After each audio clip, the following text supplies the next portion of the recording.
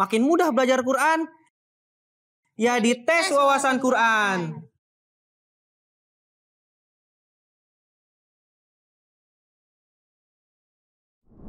Assalamualaikum warahmatullahi wabarakatuh. Halo adik-adik tersayang, pemirsa MT di mana pun Anda berada, Ramadan Mubarak. Selamat datang di program Tes Wawasan Quran. Makin mudah belajar Quran, ya di Tes Wawasan Quran. Program ini merupakan program baru yang dibuat oleh MT Indonesia untuk menemani para pemirsa selama bulan suci Ramadan. Dalam program ini, kita akan mengetes pengetahuan adik-adik atfal dan adik-adik nasirat kita seputar Al-Quran. Wah, pastinya seru nih. Salam kenal ya, saya Kak Fadli yang akan memandu acara ini. Nah, di studio sudah hadir adik-adik yang akan yang akan ikut main di episode kali ini. Sebelumnya kita kenalan dulu nih dari tim A. Assalamualaikum adik-adik. Salam. Gimana kabarnya hari ini? Alhamdulillah baik. Di tim A ada siapa aja nih? Assalamualaikum warahmatullahi wabarakatuh. Perkenalkan nama saya Fatih. Umur saya 10 tahun. Oke. Perkenalkan Fatih. nama saya Fajar, umur saya 13 tahun. Perkenalkan nama saya Aska, umur saya 10 tahun. Oke, di tim A ada Fatih, Fajar, dan Aska. Sekarang kita ke tim B. Assalamualaikum adik-adik. Gimana kabarnya? Alhamdulillah baik. Di tim B ada siapa aja di tim B nih? Perkenalkan nama saya Sazia, umur saya 9 tahun. Perkenalkan, nama saya Hafiza, umur saya 12 tahun. Perkenalkan nama saya Onit, saya umur 10 tahun. Oke, di tim B ada Onit, Hafiza, dan Sazia. Gimana kedua tim? Udah siap bermain? Siap. Tetap semangat hari ini? Semangat. Tapi sebelum kita main, kakak akan bacakan dulu ya peraturan mainnya. Oke? Nah adik-adik, ini peraturannya ya. Tes wawasan Quran akan ada dua babak. Di babak pertama, terdapat empat pertanyaan pilihan ganda. Pertanyaan pertama dan ketiga untuk grup A, pertanyaan kedua dan keempat untuk grup B.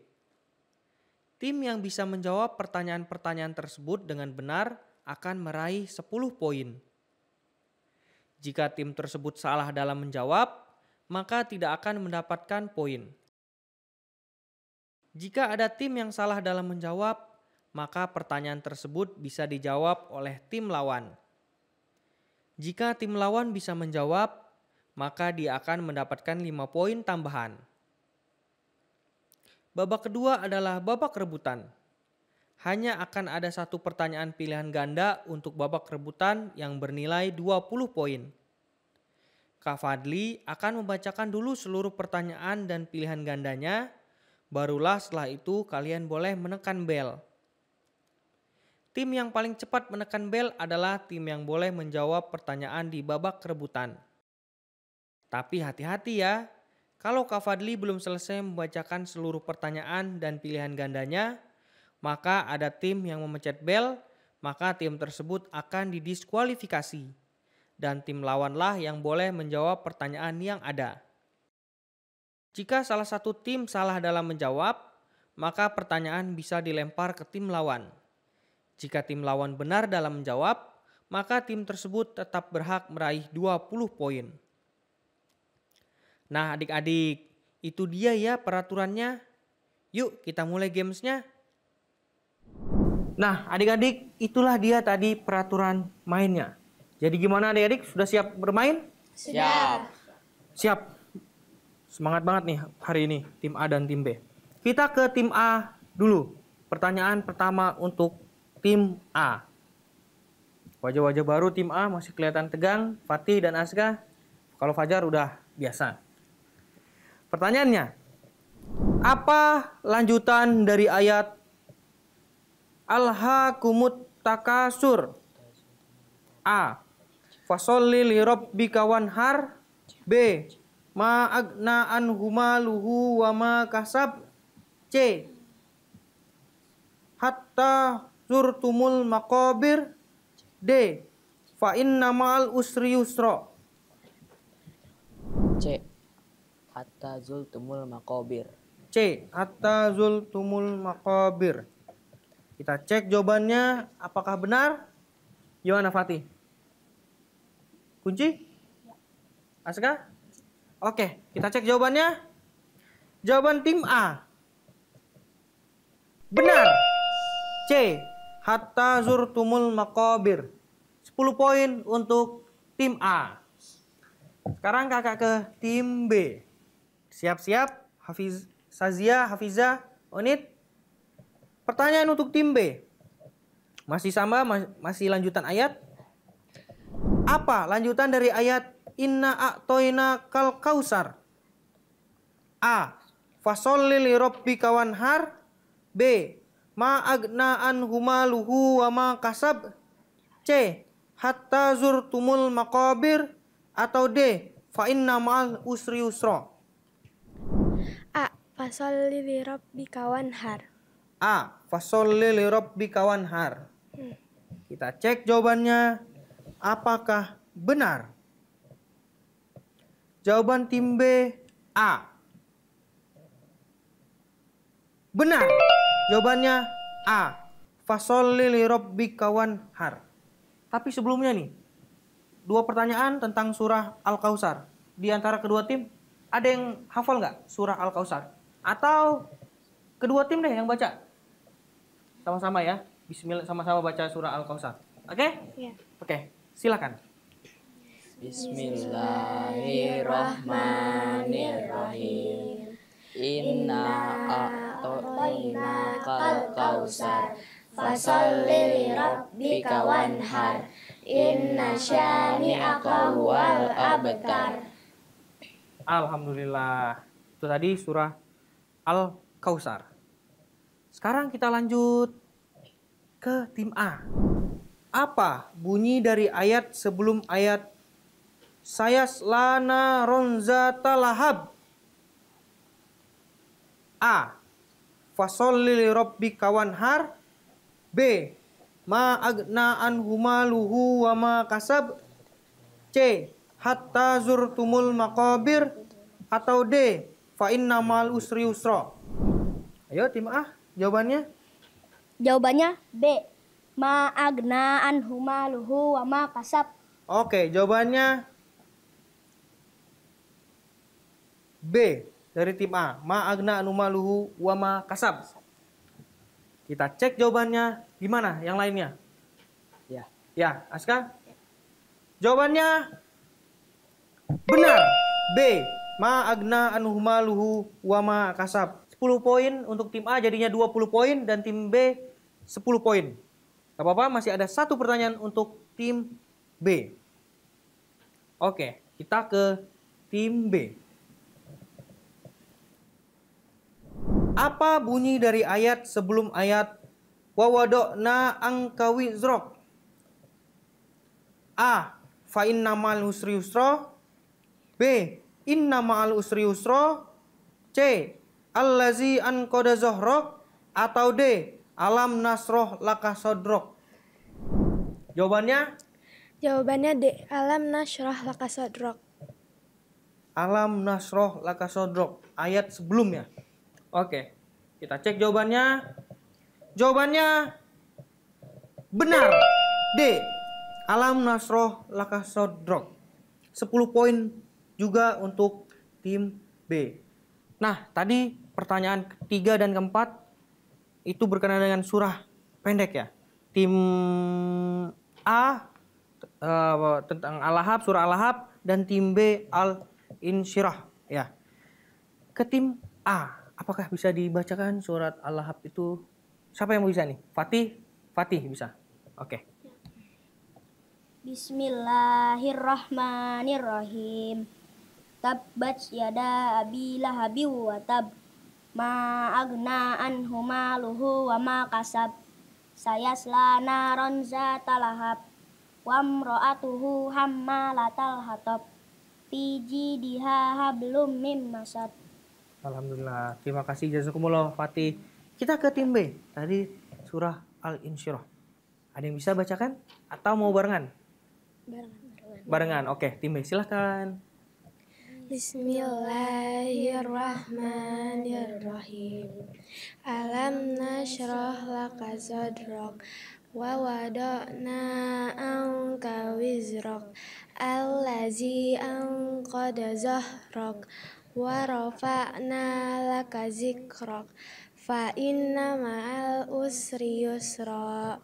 Inna ma'al usri yusra fa iza faragta fansab wa ila rabbika farghab Alhamdulillah. Terima kasih untuk Sazia, Hafiza, dan Onit. Oke, perolehan sementara untuk kedua tim sama-sama 20 poin. Jadi ada satu babak lagi yang akan menentukan siapa juara di episode kali ini. Sekarang kita masuk ke babak rebutan.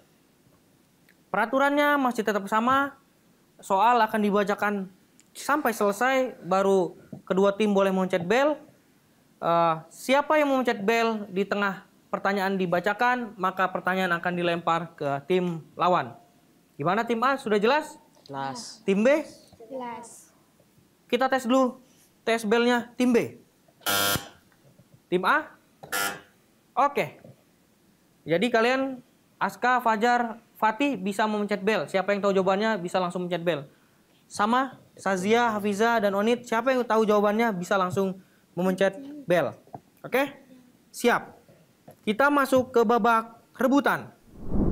Dalam Al-Quran terbitan jemaat, surah dan ayat berapakah yang disebut sebagai ayat kursi? Pasti udah tahu ya kedua tim. A. Surah Al Imran ayat 200. B. Surah Al-Baqarah ayat 256. C. Surah Al-Maidah ayat 101 atau D. Surah Al-A'raf ayat 200. Tim A terlebih dahulu mencet bel. Siapa yang mencet bel tadi? Fajri, karena langsung tahu jawabannya. Kita cek jawaban tim A apakah benar. Tenang tim B, bisa saja lemparan jawaban ke eh lemparan pertanyaan ke kalian. Oke, tim A. Jawabannya B. Surat Al-Baqarah ayat 256. B. Surah Al-Baqarah ayat 256. Wow. Fatih sangat yakin jawabannya. Gimana yang lain? Fajar, Aska, Yakin? yakin? Ya. Jawabannya benar. B. Surah Al-Baqarah ayat 256. 20 poin untuk tim A. Tos dong. Tos sudah berhasil menjawab eh, pertanyaan di babak rebutan. Tapi nggak apa-apa tim B. Mungkin ada kesempatan lain bisa menang. Oke? Nah, teman-teman. Tahu nggak kenapa ya ayat itu disebut ayat kursi? Apa ada ayat lain yang namanya ayat meja atau ayat lemari? Lalu, apa ya keistimewaan ayat kursi? Biar tahu, yuk kita tanya ke Pak Bilal. Silakan Pak Bilal.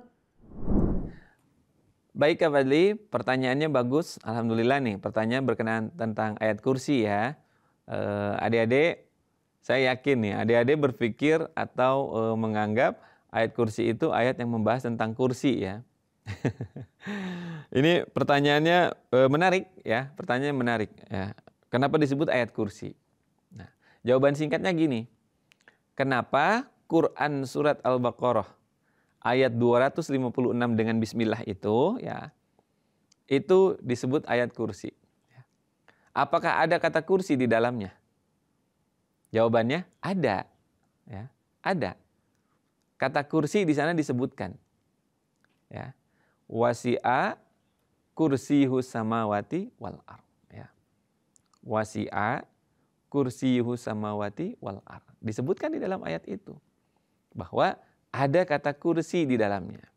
Tapi ingat ya adik-adik, maksud kursi di situ ya bukan kursi yang biasa kita duduki. Ya. Memang kalau di dalam bahasa Arab arti kursi itu ya kalau kalau kita ketik nih di internet ya di kamus online misalkan kita ketik, kita ketik kaf, ro, sin, ya misalkannya gitu kursi ya. Itu adik-adik akan menemukan jawaban uh, ada beberapa jawaban Arti kursi itu ya benar kursi memang seperti yang biasa kita duduki. Arti kursi juga artinya e, singgah sana. Nah, misalkan raja ya atau raja atau siapalah orang yang pembesar-pembesar gitu ya. E, mereka punya tempat duduk tersendiri. Nah, itu namanya singgasana. Itu juga sama kursi artinya.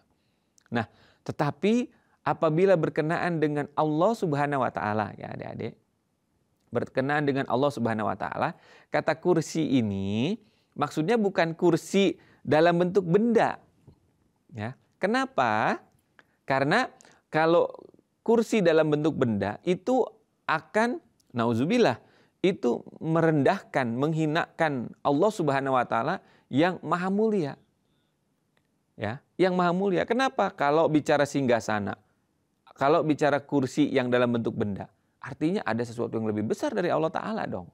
Ya, maka makna kursi dalam ayat ini adalah bukannya kursi atau singgasana dalam bentuk benda, tetapi kursi di sini artinya adalah ilmu.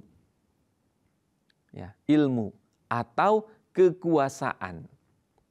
Nah, wasi'a yuhus samawati wal ar. Ilmunya seluas langit dan bumi.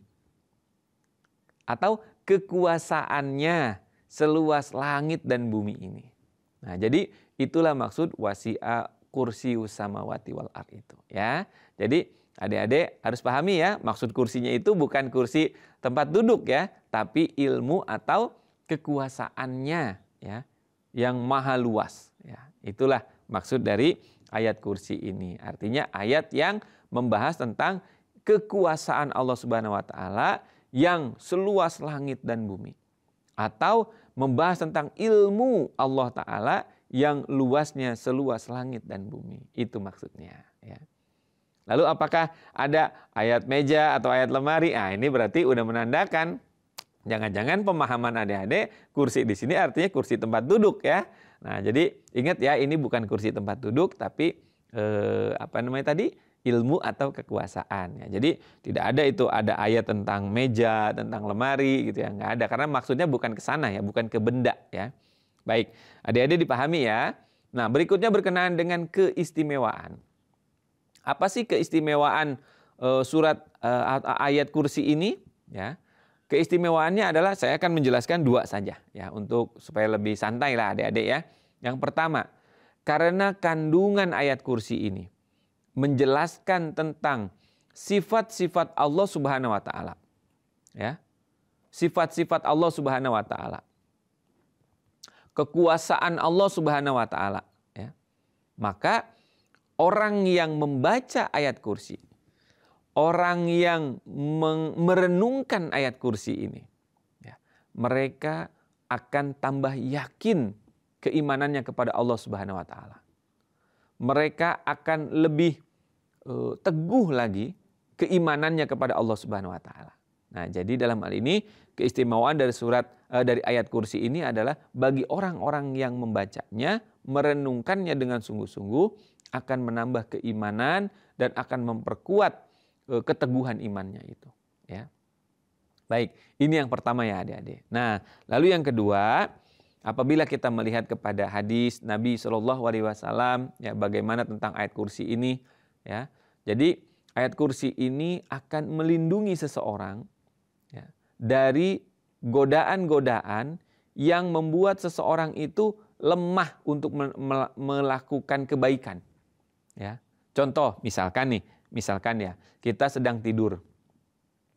Adik-adik coba, ya. Misalkan sebelum tidur kita membaca ayat kursi. Tapi betul dengan sungguh-sungguh kita baca. Ya. Itu semangat untuk bangunnya itu lebih lebih cepat ya daripada ketika kita tidur tidak membaca ayat kursi. Ya. Nabi juga biasanya kan dengan membaca surat uh, Al-Ikhlas, Al-Falaq, An-Nas kan, ya. Ketika kita membaca ayat-ayat itu atau surah itu, pasti kita bangunnya jadi lebih semangat. Nah, inilah keistimewaan ya ayat-ayat yang e, kalau kita katakan punya kekhasan tersendiri. Ya. Ketika kita membaca dan merenungkannya dengan sungguh-sungguh, pasti akan sangat berpengaruh terhadap kerohanian kita. Kalau bahasa psikologi artinya akan sangat berpengaruh dengan psikologi kita untuk melakukan kebaikan. Jadi tambah bersemangat, ya. Atau untuk menjauhi keburukan juga jadi tambah bersemangat, ya menjauhi keburukannya. Nah, jadi adik-adik, baik Itulah dua keistimewaan ya, yang dapat saya jelaskan berkenaan dengan uh, surat uh, ayat ayat kursi ini di dalam surat Al-Baqarah. Ya, mudah-mudahan uh, adik-adik bisa memahaminya ya. Baik Kak Fadli, itu saja yang bisa saya jelaskan. Jazakumullah. Nah, adik-adik, itu dia tadi penjelasan berkenaan dengan ayat kursi. Semoga bisa dipahami adik-adik. Ya. Karena sudah di penghujung acara, kakak akan bacakan pemenang di episode kali ini. Tim A 40 poin dan tim B 20 poin. Jadi untuk episode kali ini yang menang adalah tim A. Mubarak untuk tim A, Mubarak untuk Aska, Fajar dan Fatih. Untuk tim B jangan sedih, jangan berkecil hati. Semoga di lain kesempatan bisa menang ya. Ya. Oke. Karena sudah di penghujung acara, kakak akan tutup. Adik-adik tersayang, pemirsa MT di mana pun Anda berada, itulah tadi program tes wawasan Quran untuk episode kali ini. Terima kasih banyak untuk Pak Bilal, terima kasih banyak untuk adik-adik peserta yang sudah hadir di studio. Terima kasih banyak untuk seluruh kru MTA yang sudah mensupport acara ini. Dan jangan lupa untuk menyaksikan program MTA lainnya. Khususnya program live football hanya di MTA. Saya Kak Fadli, dan adik-adik peserta pamit undur diri. Sampai jumpa di episode yang akan datang. Tes wawasan Quran, makin mudah belajar Quran, ya di tes wawasan Quran. Wassalamualaikum warahmatullahi wabarakatuh. Dadah.